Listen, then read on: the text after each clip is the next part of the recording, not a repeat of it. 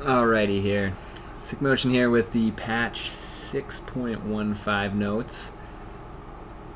Been a busy week. Uh, wasn't able to do these right when they came out, and then I forgot about them the next day. I honestly almost forgot about doing them today, even though I just finished saying I was going to do them as I ended my stream.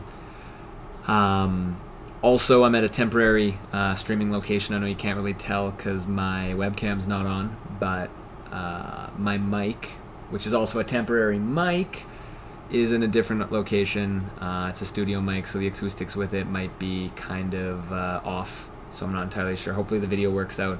Um, I mean, there's no music or whatnot, so you can adjust the sound as according. It's kind of a, a warning here. I'm sure you've already noticed if there is an issue with that. Uh, we'll just roll through here. Braum got some nerfs here. Braum's really strong, so him getting nerfed isn't the worst thing in the entire world. I don't play support, so um, I just kind of get my my plays ruined by Braum and whatnot. But it, a lot of it's aimed at his uh, his uh, early laning. Uh, the Q uh, damage is down across the entire board, most noticeable probably in uh, early levels in lane, as well as the damage from his passive is down a lot early, but it scales better later on. So once again, early game nerfs. Um, Corki, his uh, passive, uh, the package, is a minute shorter cooldown. So now it's on a four minute cooldown rather than a five. Corki was really, really strong for a long time, and now he just keeps getting buffed because um, he just got out of play, and I guess they want to see him again. Hecarim. I've been asked this question quite a bit because I play a little bit of this champion. Hecarim nerfs here just across the board. Base damage down uh, 3.37 and the Q damage is down 10 at every level. Very noticeable early on for farming. Uh, the the first couple levels of Q didn't feel like they did that much damage to kill a minion anyway. Now you're doing a bit less with it. Add on the fact that you're doing less uh, auto attack damage. I did notice I was missing a little bit of farm. Trades in lane still felt relatively the same. Um, I mean, early on, you're not getting off like 7 8 Qs in a trade that often. Um, if you were, you'd probably be noticing that 10 damage off. Where I think this is going to be most noticed is in the jungle, which is where I think it was aimed at. His clear times are a little less forgiving, um, and his uh,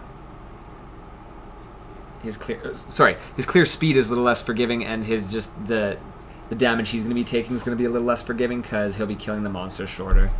Um, so, or sorry, taking longer. Jeez, I'm too tired. Um, but yeah, I noticed it when I was playing top lane Hecarim, but I was trying to kill some jungle camps. It felt like they were taking ages to die.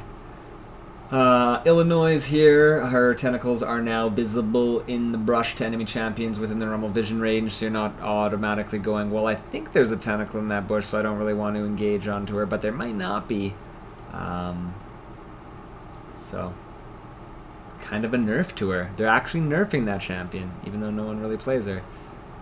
Uh, let's see. Jarvan here, uh, some straight buffs to Jarvan. His passive attack speed on his flag is up. His passive, um, his attack speed aura is up.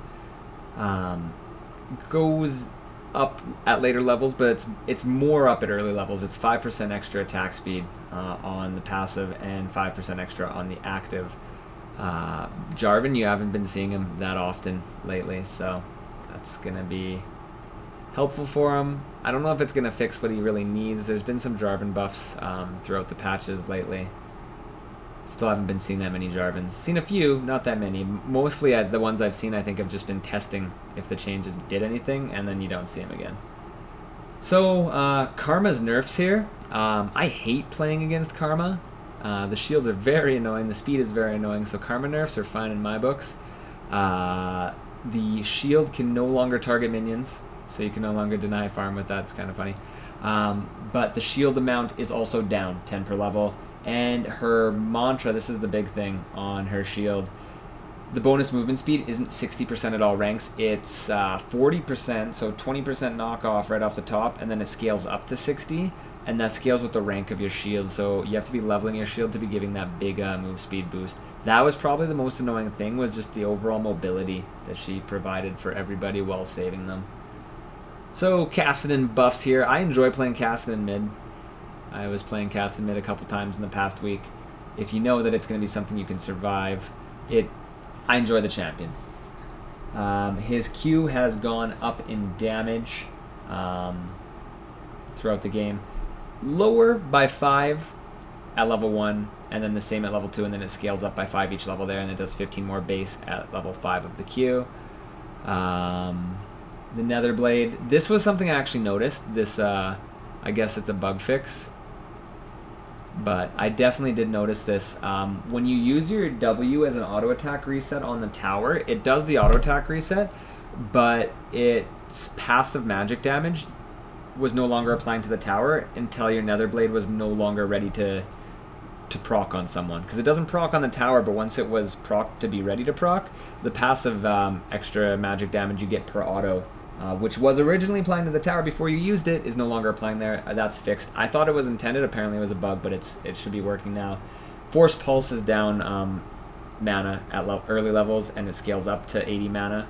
That's a pretty high cost for a level 1 spell, 80 mana. So that should help a little bit. And that's not what you're going to be maxing first, so that extra 20 mana that you get every time you cast that ability will kind of add up over time.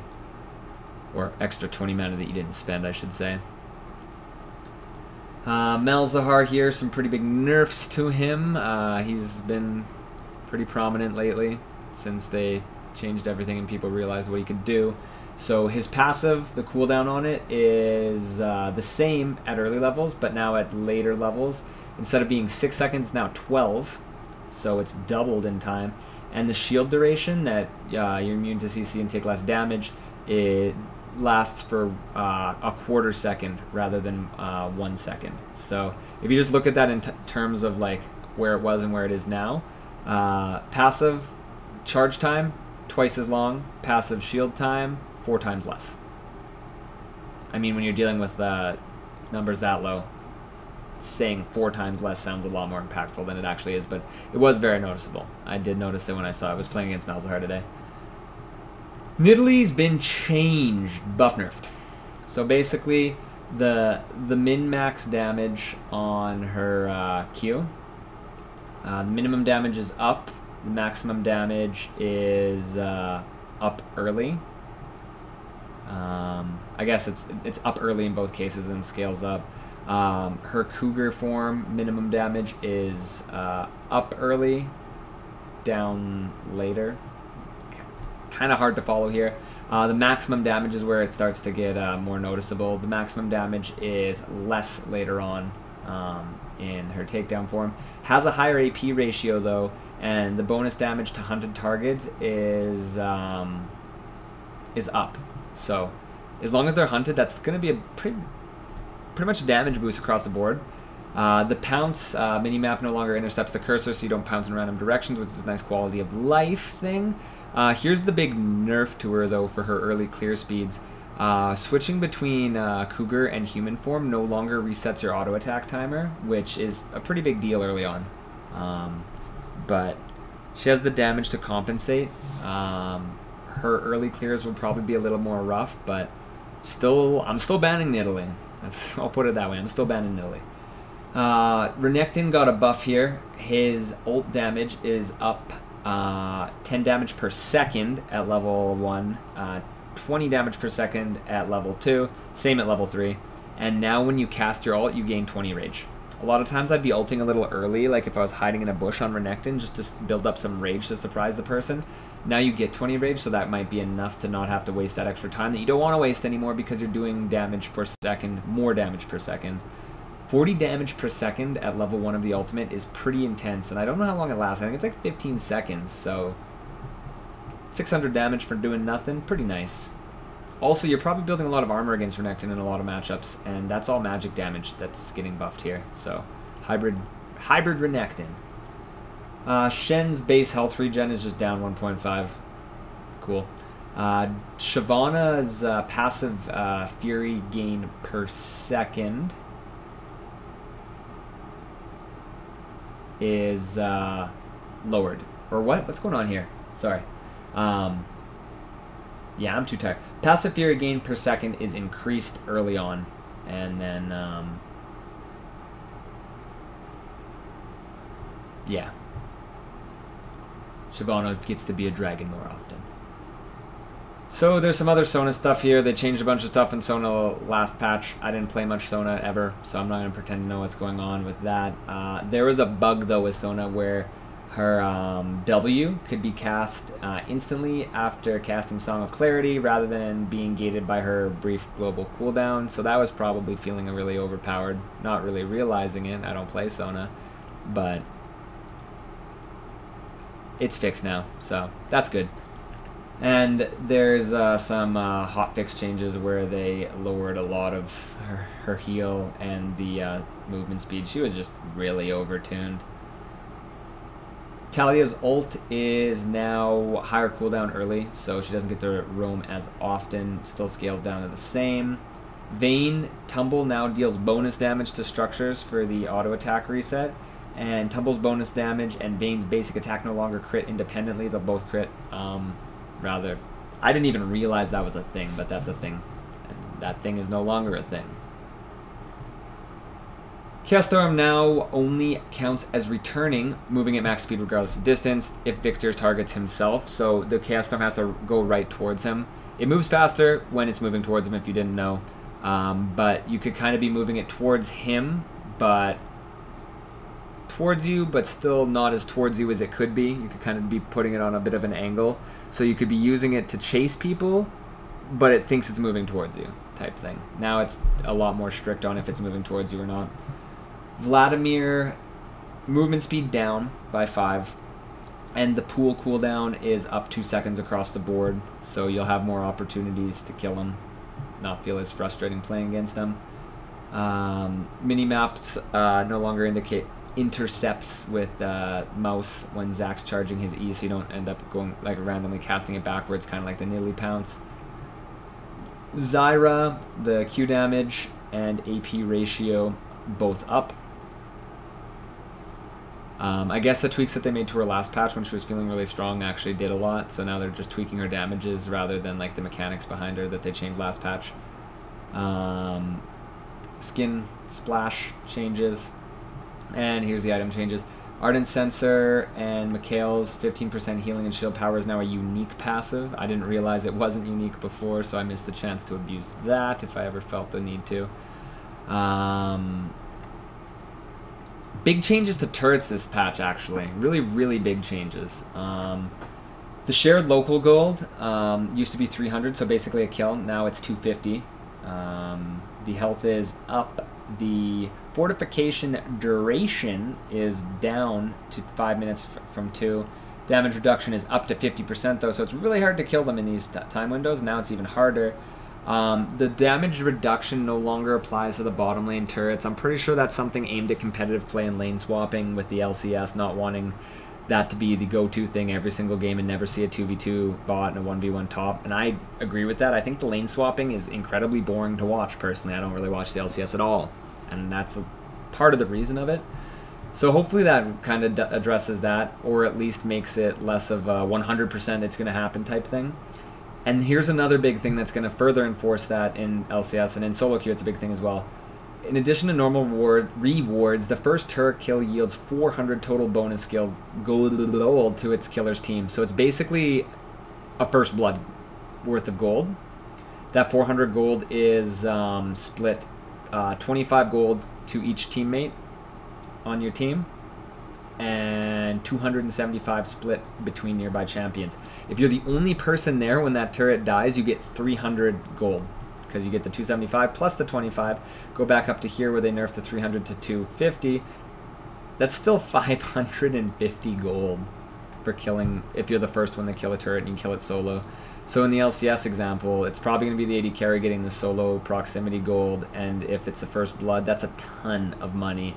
Uh, you're going to be wanting to defend the first blood turret bonus really hard, and if the bottom turrets aren't fortified, and it's two uh, like a support AD pushing against just a guy trying to stay alive on that turret, and you lose. Like basically, if you have your if one team is pushing top, one team is pushing bottom, the team pushing bottom is going to get that turret way faster for those early things. So there's a lot of emphasis on sending people ball in to protect it. Um, Twisted Tree Line of Lord Van Damm's Pillager, which was basically the old IE on the Twisted Tree Line, now comes back as a completely different item, kind of. Still an AD item, but it is a AD health item with cooldown reduction that does cool things based on controlling altars. So puts more emphasis on the macro map play. Um, basically, you get a Sunfire. Not a Sunfire, I guess. You, get a dot that you apply. Um, actually, no. It is a Sunfire. I read this wrong the first time. Uh, it's a Sunfire uh, that deals bonus damage to minions and monsters to make it easier to push, and then you just have that Sunfire. Doesn't stack with a Sunfire, though, so if you're getting this item, you got to plan to knock it as Sunfire. And controlling the other altar um, gives you that dot that your basic attacks burn targets.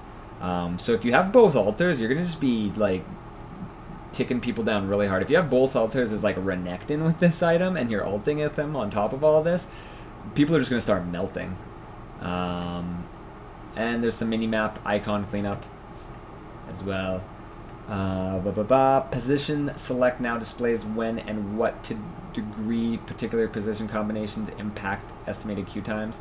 I haven't seen this. Maybe I haven't been looking for it, or maybe I'm interpreting this wrong, that it's just the estimated queue time is just going up and down um, based on what roles I'm selecting. But I was expecting this to be like, if you queue as top and mid, before you queue up, it'll show your estimated queue time, and it will show what, what part of that's impacting it more. But maybe I'm just expecting something different there. Uh, da, da, da, Ranked team queues have been expanded the windows, so that's cool. You'll have more opportunities to play those modes. Twisted Tree Line falls into the ranked uh, teams queue. It was originally for fives, but they threw threes into it as well. Which, uh, as I said in the patch that that came out, you can go watch that video if you want to hear me talk about that. I, I think the idea behind it is solid. Um, bunch of uh, bug fix thingy-majiggers here. Um, one thing about this patch I will note, I'm hoping it gets hot fixed. I don't, we don't have to wait that long there is um, some audio visual bugs this patch, specifically with walking into bushes. When you walk into a bush and realize there's a ward there for the first time, it does its just been placed visual animation if it has one with that ward, and it makes the just been placed sound. Blue wards will make the just been placed like um, invis ward uh, sound when you walk in, because when you when a blue ward gets placed, it makes like that wah or like vision granting clairvoyant sound but it now um, now every ward that you walk by will act like it's just been placed, which might not seem like a big deal. If you walk into a bush that you have no vision around the bush and the ward just makes the just been placed um, sound, you're like, oh shit, someone's on the other side of that wall warding into here and very well there could be no one on that side of the map. That's very frustrating. The other visual bug that's on this um, patch is if someone starts a uh, recall out of vision and you walk into vision of them and you see them recalling, the recall will act as if it had just started. The animation and the sound will act like they just started that recall. But if they're like right at the end of that recall, it'll look like for you that they just started it and then they'll disappear and I've lost a lot of back, uh, a lot of kill possible opportunities, and I've missed stopping a lot of back simply because I don't think that they are um, that in, far into their recall timer. So watch out for those two visual bugs. Um, I know that's not part of this patch notes, but it did happen with this patch, and it's it's been annoying me a lot. It's been very impactful, honestly, and the project skins. So people are going to start spending their money. Make sure you have enough money to pay rent before you buy all the project skins and Riot Prince money again. And that's the end of the patch notes. Uh, thank you guys for for watching. Sorry about the delay on it. Um, I honestly just forgot like yesterday, like I said. Um, so thanks for being patient with that. Hopefully you enjoyed it. Hopefully it helped. Um, if you are new to the channel, make sure to hit the uh, the sub button if you want to see more content like this. Go check out the other stuff on there. Like this video if you found it helpful. Sorry about the audio if it wasn't good. Um, sorry if it was good because I'm only going to be doing this video here, and I'll the next patch note video I'll be in my. Uh, my new house, hopefully, unless something catastrophic happens. Um, but have a good day, guys. Uh, social media links and stream links in the in the description as always, and uh, take it easy till next time.